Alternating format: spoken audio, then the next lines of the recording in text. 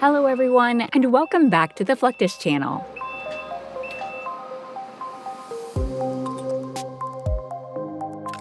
Huntington Ingalls Industries is the largest military shipbuilding company in the United States.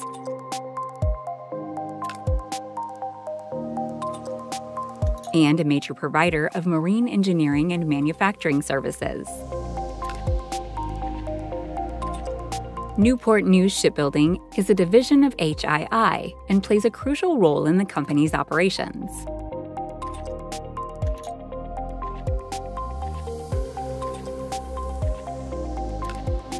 the company announced changes in the construction and delivery approach for the John F. Kennedy, the second nuclear powered aircraft carrier in the Gerald R. Ford class.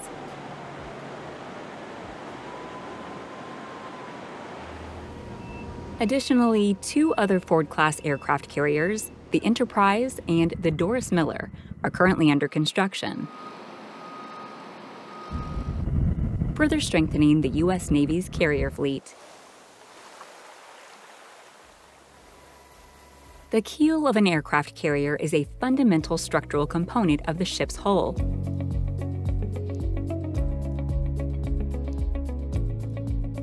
It serves as the backbone or spine of the vessel, running along the bottom of the hull from the bow to the stern.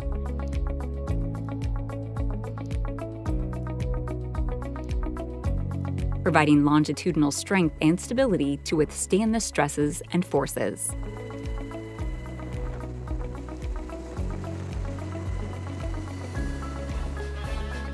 The keel laying ceremony is a significant milestone in constructing a ship, including aircraft carriers.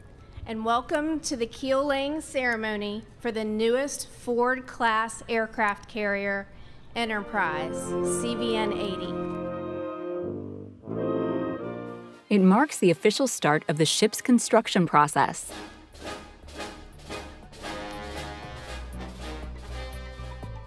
symbolizing the laying of the first structural component.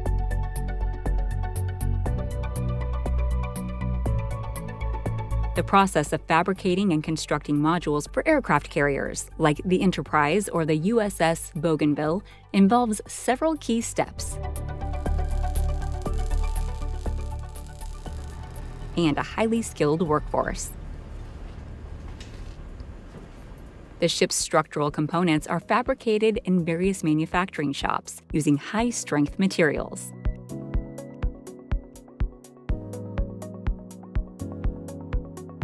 These components include sections of the hull, bulkheads, frames, and other structural elements.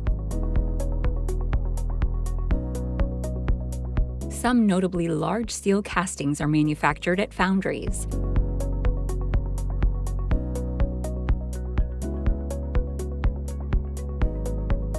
which are specialized facilities for producing massive, precision cast parts.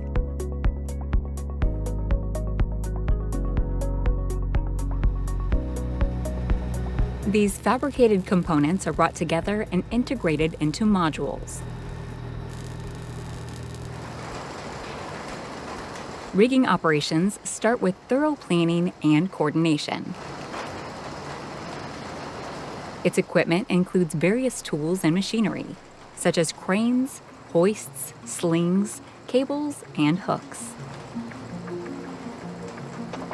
The riggers operate these tools with precision to ensure the load is lifted smoothly and safely.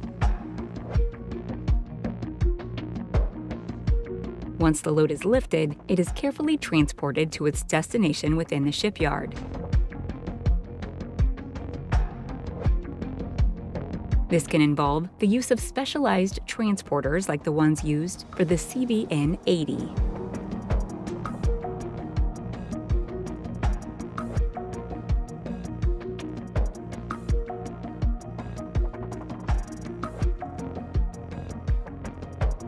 Engineers and naval architects work on creating detailed plans for the ship's structure,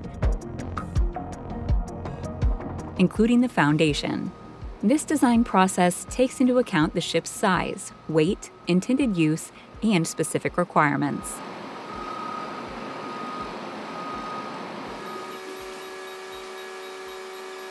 For the foundation process, keel blocks are used to help distribute the weight of the ship evenly and provide stability while the ship's structure is being built. Keel blocks are carefully positioned to ensure the ship is level and properly aligned.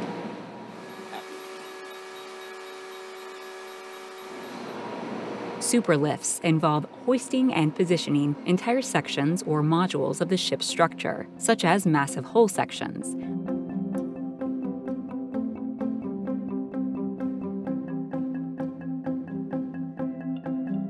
Large equipment or components like the flight deck.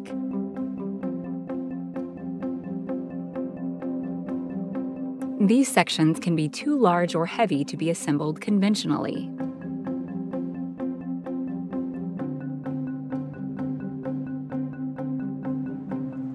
Newport News Shipbuilding Foundry is a large, specialized facility covering approximately 200,000 square feet.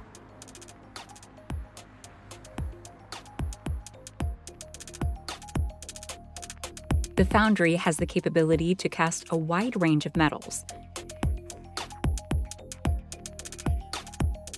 including high yield and carbon steel. The selection depends on the specific requirements of the rudder. The rudder casting process involves creating a mold in the desired shape of the rudder.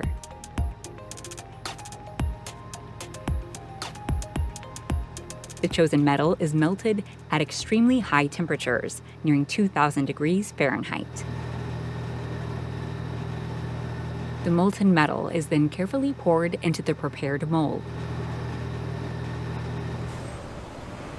During this phase, the metal takes on the shape of the rudder. The cooling rate and process control are critical to ensure the desired material properties and structural integrity.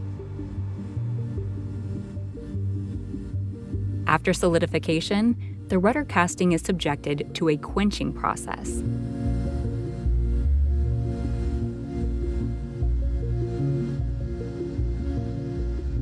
Rapidly cooling the casting by immersing it in water in order to increase the material's toughness, making it more resistant to cracking and other forms of mechanical stress.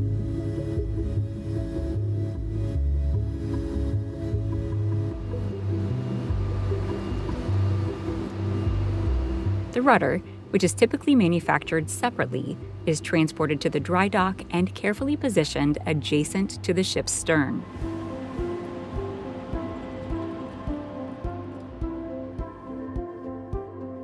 The rudder is often attached to lifting equipment or cranes to facilitate its precise placement.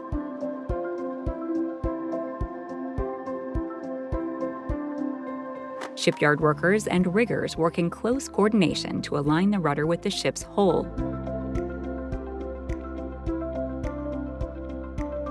This is critical to ensure the rudder is positioned correctly and will function as intended.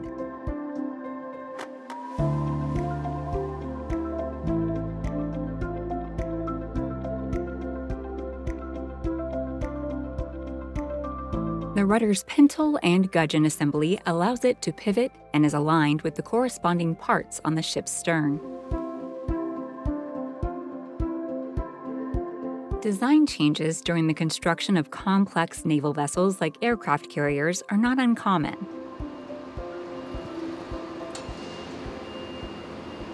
And engineers play a critical role in overcoming these challenges. Updates in technology, variations in requirements, or lessons learned from previous vessels are some of the reasons to apply these changes. Engineers and technical experts assess the proposed modifications and evaluate their impact on the overall design.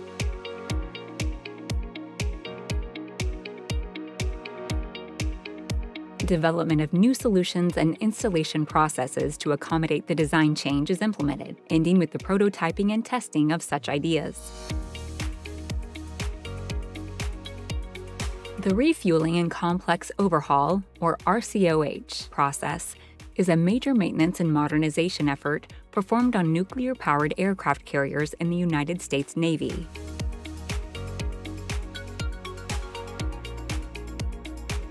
It is a comprehensive and lengthy process designed to extend the service life of these vessels and enhance their operational capabilities.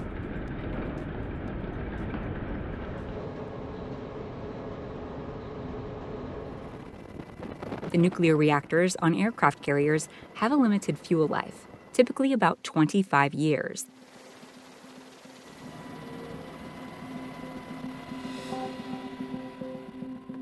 During an RCOH, the old nuclear fuel is removed and new fuel is loaded into the reactors.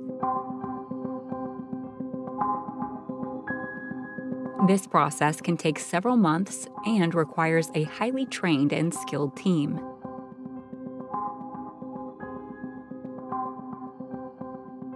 Preparing at dry docks for incoming repair ships, such as the USS John C. Stennis,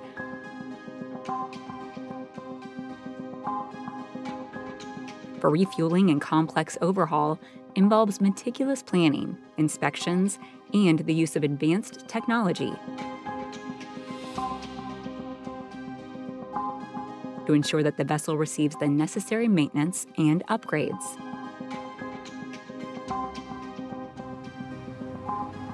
Before a ship arrives, thorough inspections of the water communication pipelines are conducted to identify any leaks, blockages, or issues that could impact the docking process.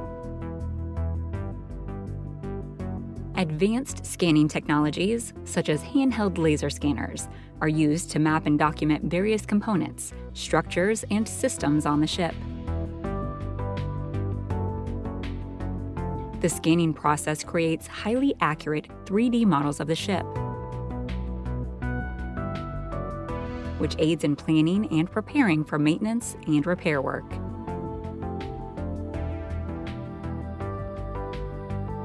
A sponson unit in shipbuilding is an external structure attached to a vessel's hull.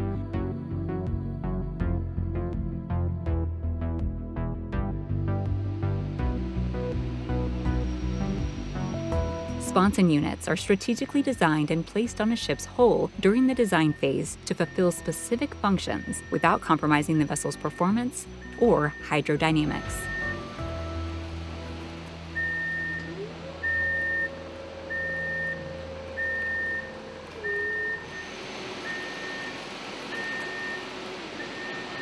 After pre-installation planning and mast fabrication, a crane or rigging system is set up for lifting and positioning the mast.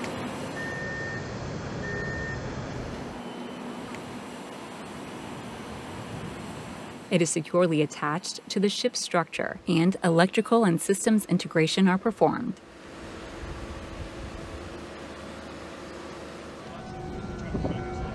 Safety measures are observed throughout, and thorough inspection and testing ensure proper functioning.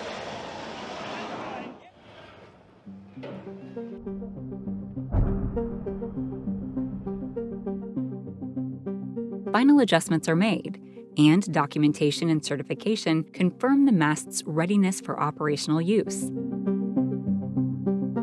Crucial for navigation, communication, and ship operations.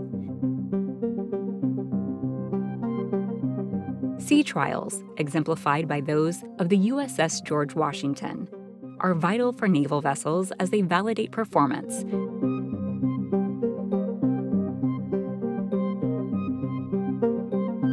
Ensure safety, test systems, and provide essential crew training.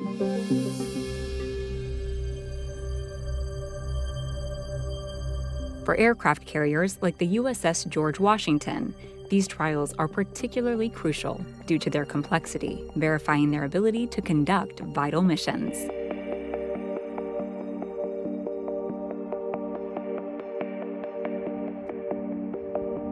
The commitment to excellence in the design and maintenance of aircraft carriers ensures that these critical assets remain at the forefront of naval capabilities.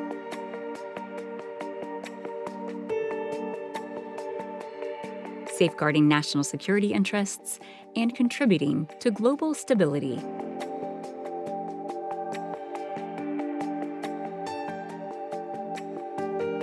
That's the end of this video. We hope you enjoyed it. Make sure to subscribe to this channel so you don't miss any of our new content. See you next time.